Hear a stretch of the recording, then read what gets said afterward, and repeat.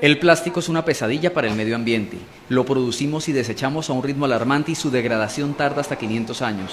Por eso, para evitar el efecto dañino del plástico en esta bodega del centro de Cali toman estos desechos, los muelen, funden y los convierten en bloques con los que se puede armar una casa que según afirman puede ser tan o más resistente que una de ladrillo y cemento. Son inífugas, quiere decir que son resistentes contra el fuego, también son termoacústicas y sismoresistentes, aguantan un temblor, un terremoto y la temperatura es ambiente dentro de la casa.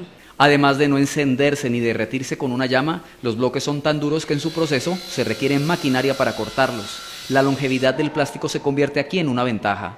Sabemos que va a superar los 500 años. Eh, inclusive en broma decimos que damos una garantía de 3.000 años, pero que hay que llamar mil años antes para eh, separarle turno. Este científico que recibió una condecoración del Ministerio del Medio Ambiente por su investigación que ya lleva ocho años, asegura que las casas con paredes de plástico ya pueden habitarse. Lo que ustedes están viendo es un centro de experimentación donde esperamos alcanzar los estándares de la industria, los que requiere el Estado para la construcción de viviendas sismoresistentes y todo ese tipo de normas legales.